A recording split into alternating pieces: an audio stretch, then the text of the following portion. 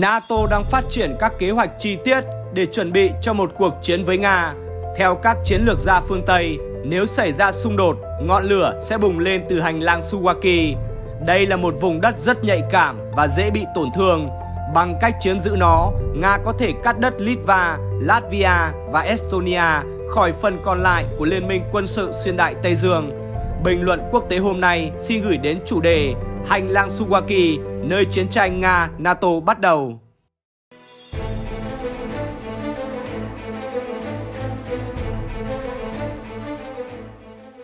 Hành lang Suwaki được đặt tên theo thị trấn Suwaki của Ba Lan là một giải đất dài chưa tới 100 km chạy dọc theo biên giới Ba Lan, Litva, nối vùng lãnh thổ hải ngoại Kaliningrad của Nga với Belarus. Suwaki là một vị trí yên tĩnh với những ngọn đồi nhấp nhô, rừng và hồ ở rìa cực đông của NATO. Nếu thực sự xảy ra chiến tranh trực diện với NATO, có thể Tổng thống Putin sẽ tấn công vào hành lang Suwaki trước tiên. Khu vực này từ lâu được xem là gót chân Asin trong hệ thống phòng thủ phía đông của NATO, bởi Nga có thể chiếm giữ một cách dễ dàng bằng cách tiến hành cuộc tấn công gọng kìm xuất phát từ Kaliningrad ở phía tây bắc và từ quốc gia đồng minh Belarus ở phía đông nam. Một cuộc tấn công như vậy sẽ cô lập ba quốc gia Baltic gồm Litva, Latvia và Estonia khỏi các đồng minh của họ ở Trung và Tây Âu, cũng như với phần còn lại của NATO và EU. Điều này sẽ cắt đứt các tuyến đường tiếp tế và không còn hy vọng tiếp viện cho quân đội tương đối nhỏ của các nước vùng Baltic. Tờ Politico từng mô tả về hành lang Suwaki bằng cụm từ ngắn gọn, cho đây là nơi nguy hiểm nhất trên trái đất vì không có bất cứ hệ thống phòng thủ nào. Ở phía Belarus, đây là quốc gia tạo mọi điều kiện thuận lợi cho quân đội Nga sử dụng lãnh thổ làm bàn đạp trong chiến dịch quân sự đặc biệt. Ở phía bên kia là vùng đất thánh địa Kaliningrad của Nga, nơi Bộ Quốc phòng Nga triển khai máy bay MiG-31E mang tên lửa siêu thanh Kinzhan vào năm 2022 và là nơi Nga đặt tên lửa có khả năng mang đầu đạn hạt nhân. Phần đa dư luận biết rất ít về hành lang Suwaki, tuy nhiên đây là một địa điểm có tầm quan trọng chiến lược. Chính tại đây, một cuộc xung đột giữa phương Tây và Moscow có thể bắt đầu, một cuộc xung đột mà ngay cả các tướng lĩnh NATO cũng lo sợ đây cũng là tuyến đường bộ duy nhất từ Ba Lan và Trung Âu đến các nước vùng Baltic.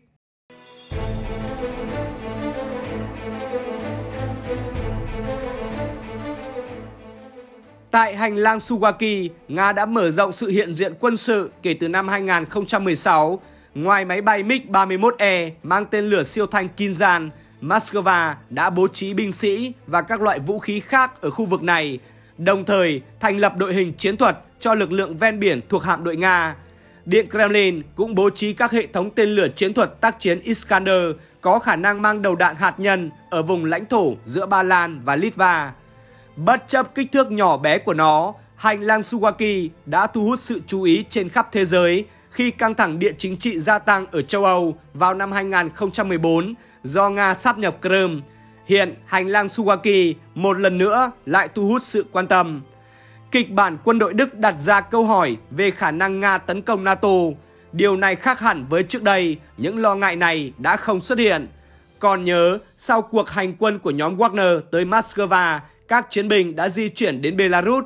Tổng thống Belarus Alexander Lukashenko sau đó tuyên bố rằng họ nóng lòng muốn tiếp cận biên giới Belarus với Ba Lan. Thủ tướng Ba Lan Mateusz Morawiecki tiết lộ hơn 100 binh lính của nhóm Wagner đã kiểm soát các vị trí gần hành lang Suwaki, gần Grodno của Belarus. Ba Lan ngay lập tức bắt đầu mở rộng sự hiện diện quân sự gần eo đất, bởi như Bộ trưởng Quốc phòng Ba Lan Mariusz Blasas đã nói, Warsaw lo ngại về an ninh sườn đông của NATO. Bộ Quốc phòng Litva cuối tháng 7 năm 2023 cũng đưa ra tuyên bố đang theo dõi mọi hoạt động của nhóm binh lính Wagner ở gần hành lang Suwaki.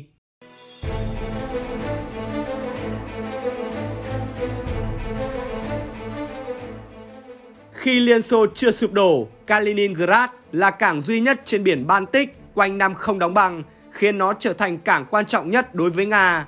Vùng đất này kết nối với đất mẹ Nga thông qua một eo đất dẫn qua lãnh thổ của Litva và Belarus. Eo đất này từng là một phần của Liên Xô. Bối cảnh vốn rất thuận lợi cho Nga này đã thay đổi khi Liên Xô sụp đổ và Litva trở thành một quốc gia độc lập và gia nhập NATO. Ba Lan, quốc gia có quân đội lớn nhất trong khu vực, cũng là thành viên của NATO. Tại một thời điểm nào đó, Nga phải đối mặt với một bước ngoặt địa chính trị và lãng quên vùng đất Kaliningrad bởi một phần hành lang Suwaki, tuyến đường tiếp cận biển quan trọng, bị cô lập vì Ba Lan và Litva kiểm soát. Nhờ hoạt động quân sự ở Ukraine, việc sát nhập Crimea và Donetsk cùng Luhansk, Nga đã khôi phục được cây cầu nối đất liền với Biển Đen. Chính vì vậy, nhiều ý kiến cho rằng điều tương tự sẽ đe dọa Ba Lan và các nước vùng Baltic nếu Nga quyết định vượt hành lang Suwaki và khôi phục liên lạc trên bộ giữa Belarus và Kaliningrad. Ngay cả trước khi bắt đầu giai đoạn thứ hai của chiến dịch đặc biệt ở Ukraine, eo đã là một nguồn gây bất an khi một số quan chức quân sự cấp cao của phương Tây cảnh báo rằng Moscow có thể chiếm giữ nó để khôi phục tuyến đường bộ tới Kaliningrad. Trung tướng Ben Hodges, khi đó là chỉ huy lực lượng Mỹ ở châu Âu, cho biết vào năm 2015 có hàng ngàn binh sĩ Nga tham gia cuộc tập trận ở cả hai đầu eo và hiện tại tất cả mọi người đều đã có mặt.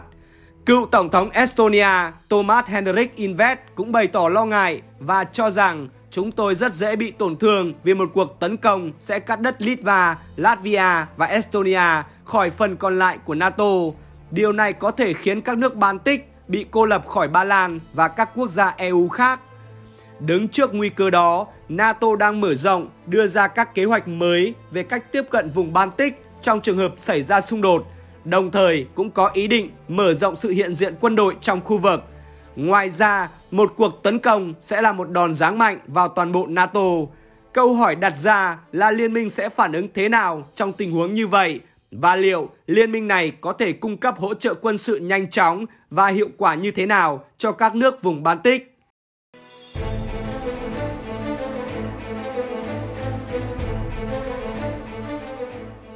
Vào nửa cuối tháng 1 năm 2024, Bộ Quốc phòng Đức đưa ra kịch bản xung đột sẽ sớm nổ ra giữa Nga và NATO. Theo đó, mọi thứ sẽ bắt đầu bằng việc Nga huy động quân vào tháng 2 năm 2024 với số lượng 200.000 người. Cho đến tháng 6 năm 2024, theo tài liệu của Bộ Quốc phòng Đức, quân đội Nga sẽ đạt được những tiến bộ đáng kể và những nỗ lực của Ukraine nhằm tái kiểm soát các vùng lãnh thổ sẽ không có kết quả do phương Tây cắt giảm viện trợ. Ukraine và phương Tây, theo tài liệu, sẽ rơi vào tình thế khó khăn. Ngược lại, Tổng thống Vladimir Putin sẽ muốn tận dụng những thành công của mình và tiến hành một loạt cuộc tấn công mạnh vào Estonia. Tiếp đó, theo kịch bản của Đức, vào tháng 9 năm 2024, Nga tận dụng cuộc tập trận chung với Belarus để triển khai 50.000 binh sĩ ở phía tây đất nước và trên lãnh thổ Belarus. Kịch bản của Đức dự báo Nga sẽ chuyển tên lửa tầm trung tới Kaliningrad vào tháng 10 năm 2024. Ngoài ra, Điện Kremlin sẽ phát động một chiến dịch tuyên truyền để thuyết phục họ rằng các nước NATO đang chuẩn bị cho một cuộc tấn công. Hành lang Suwaki sẽ là nơi Nga dồn sức tập trung. Vào tháng 12 năm 2024, các cuộc xung đột sẽ được kích hoạt ở biên giới và sẽ bắt đầu ở Suwaki. Eo đất sẽ bị kẹp giữa hai nhóm lực lượng lớn của Nga, hai sư đoàn thiết giáp, một sư đoàn bộ binh cơ giới và một bộ chỉ huy của nó. Tổng cộng có khoảng 70.000 binh sĩ. Chỉ đến tháng 5 năm 2025, NATO mới cố gắng kích hoạt các kế hoạch gian đe hiệu quả nhằm ngăn chặn một cuộc tấn công vào hành lang Suwaki từ Belarus và Kaliningrad. 300.000 binh sĩ sẽ được gửi đến sườn đông của NATO. Việc khởi động kịch bản được chỉ định trong tài liệu là ngày X. Trong khoảng một tháng nữa, hơn nửa triệu binh sĩ Nga và NATO sẽ đối đầu với nhau.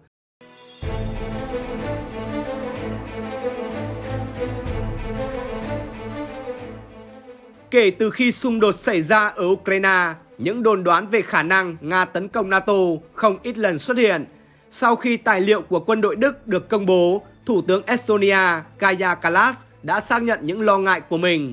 Trong một cuộc phỏng vấn với tờ Times, bà Kallas cho biết tình báo của Estonia báo cáo rằng một cuộc tấn công có thể xảy ra trong vòng 3 đến 5 năm và điều quan trọng bây giờ là NATO tập hợp xung quanh Ukraine.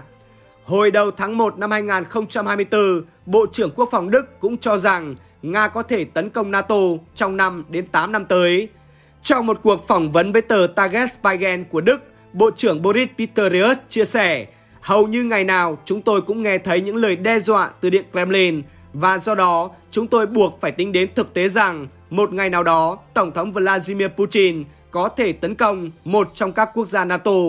Nhưng nếu các lực lượng vũ trang Nga thực sự kiểm soát hành lang Sugaki trước khi quân NATO kịp đến, thì theo một số nhà phân tích, khó có khả năng Moscow sẽ quyết định một cuộc chiến trên bộ kéo dài với NATO.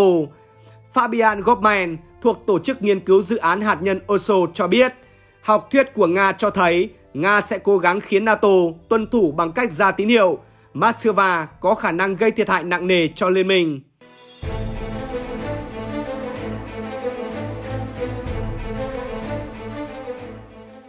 Nhưng đằng sau những cảnh báo từ các chính trị gia phương Tây là những kế hoạch chi tiết được vạch sẵn để chuẩn bị cho những gì có thể xảy ra.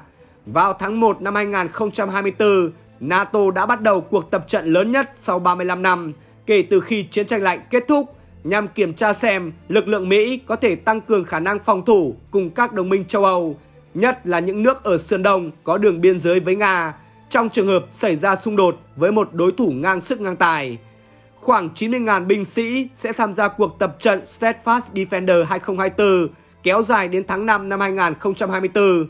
Cuộc tập trận bao gồm tất cả mọi thứ, tàu sân bay, tàu khu trục, hơn 80 máy bay chiến đấu, trực thăng và máy bay không người lái, hơn 1.000 xe bọc thép, 133 xe tăng và 533 xe chiến đấu bộ binh. Tương tự NATO, quân đội Nga cũng đang chuẩn bị. Các cuộc tập trận được đề cập trong tài liệu của quân đội Đức có thể sẽ là bản sao của cuộc tập trận quân đội Nga vào năm 2023 tại Belarus. Ở Ukraine, Nga không từ bỏ vị thế của mình và nếu trước đây phương Tây chỉ nghĩ đến khả năng xảy ra một cuộc đối đầu với Nga thì giờ đây họ cho rằng phần trăm xảy ra là rất cao. Tướng Martin Herem, chỉ huy quân đội Estonia nhận định Tổng thống Vladimir Putin có thể tấn công các nước Baltic trong vòng một năm sau khi kết thúc giao tranh ở Ukraine. Chính vì vậy, chuyến đi của ông chủ Điện Kremlin tới Kaliningrad, một trong những điểm nóng có thể xảy ra đối đầu quân sự, đã khiến châu Âu và NATO bất an, dù Điện Kremlin khẳng định đó chỉ là hoạt động thường niên của Tổng thống. Nếu có một bài học rút ra từ Ukraine, thì đó là các nhà lãnh đạo Mỹ và đồng minh nên chuẩn bị cho kịch bản xấu nhất bằng cách tập trung và nhìn nhận đúng vào khả năng quân sự của Nga trong khu vực, dự báo logic chiến lược của Nga hoặc quan điểm của các cơ quan tình báo về triển vọng của Tổng thống Vladimir Putin. Cảm ơn quý vị và các bạn đã quan tâm theo dõi chuyên mục bình luận quốc tế của báo Nghệ An. Xin kính chào tạm biệt và hẹn gặp lại ở những chủ đề sau.